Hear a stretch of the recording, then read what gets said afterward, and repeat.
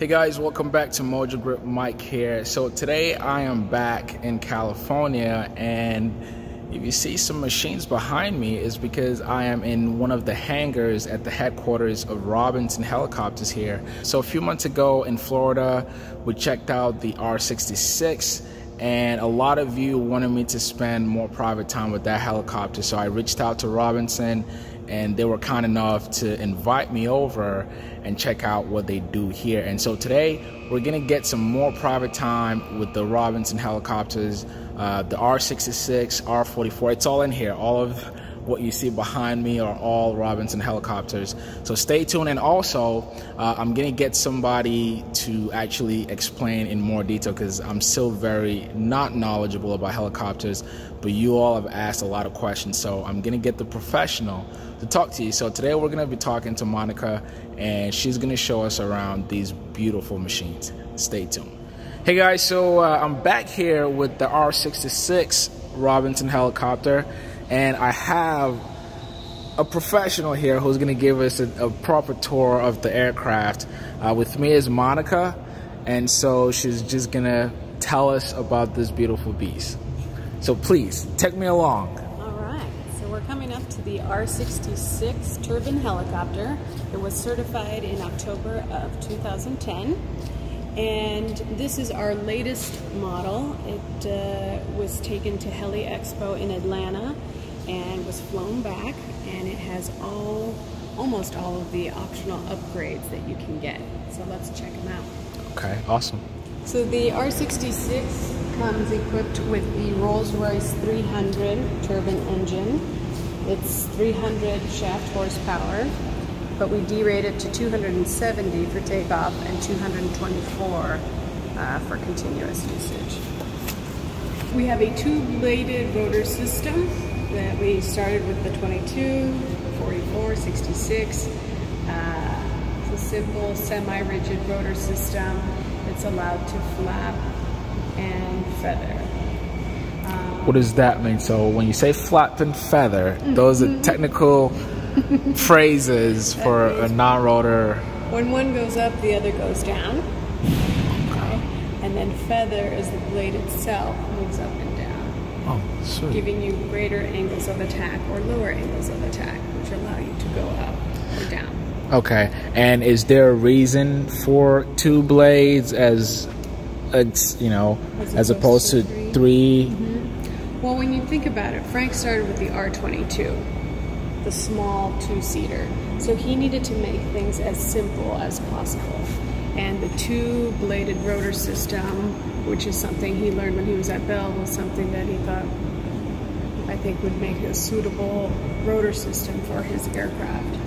Okay. And that model has just followed through with the 44 and the R66. Okay, great. Now, uh, how does tail rotor works compared to that's the I guess that's the main wing of the airplane. How does this work back here? So the main rotor blade creates torque on the aircraft.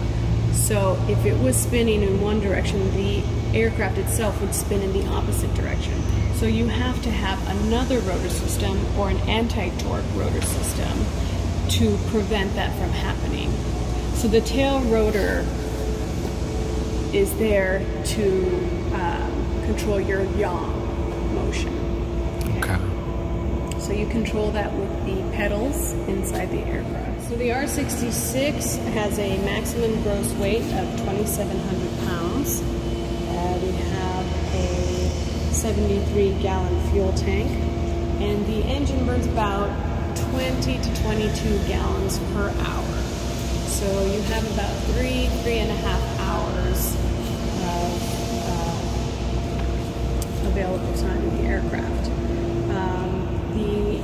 Hover ceiling out of ground effect is over 10,000 feet, and the aircraft can climb over a thousand feet per minute. That's fully loaded, or okay.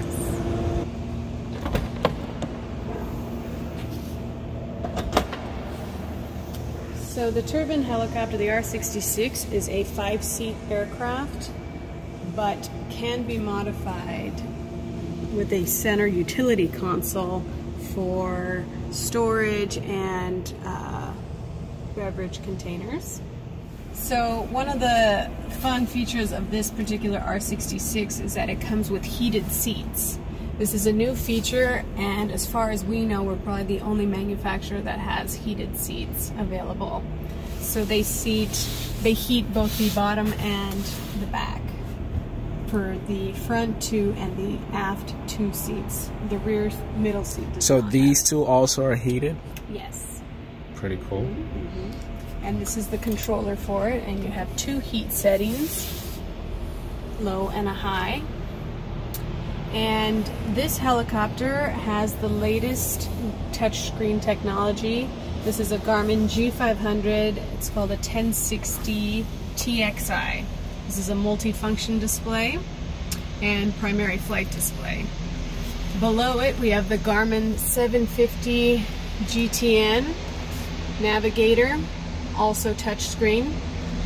And right below it, we have the Genesys Autopilot. This is a HeliSAS. So the 66 is, uh, most 66 owners are getting the autopilot installed. It is comprised of this uh, audio, sorry, this controller and then buttons on the cyclic stick as well. Now, again, as a newbie, tell yeah. me how how is this thin film? Because for me, when I see helicopters, I do. First of all, what is this cyclic called? Uh, is it is there a specific name for it? But I've seen different ones where you have somewhat like just a stick mm-hmm. on each side, and then now I see this the T bar T T looking thing. Yes. So walk me through a little bit of of what these control uh, surfaces are and how the helicopter is operated. Got it.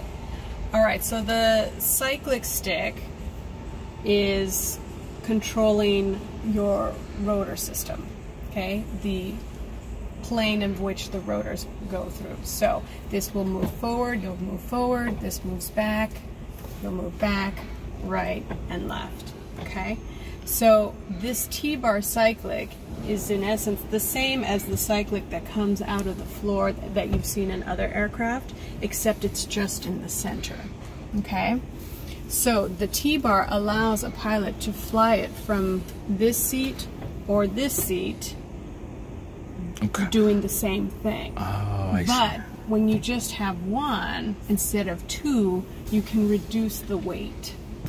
Oh, okay. okay. And so that allows for a lot more lifting cap capabilities and a lot more simpler engineering.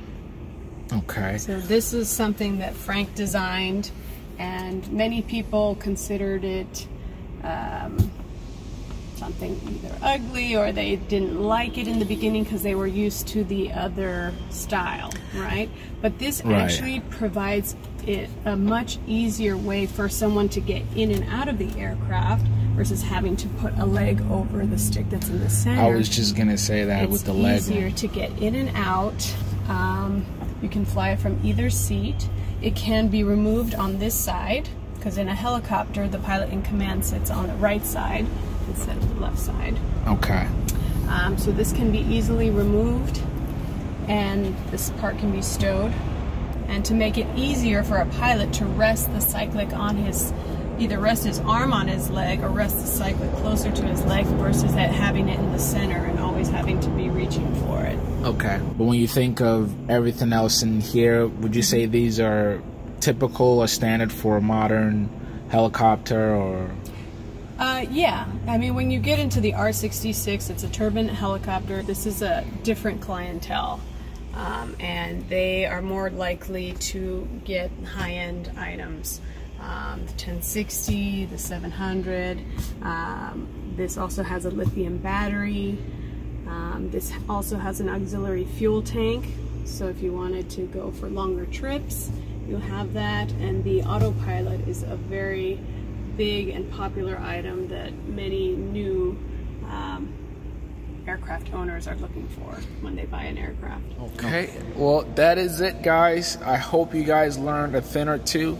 I appreciate the tour, Monica. Mm-hmm. And so stay tuned. We're going to be talking more about this helicopter actually, and she'll give you guys a lot more details. Thank you so much for watching. If this is your first time, be sure to hit that subscribe button. Again, my name is Mike, and I will catch you on the next video. Peace.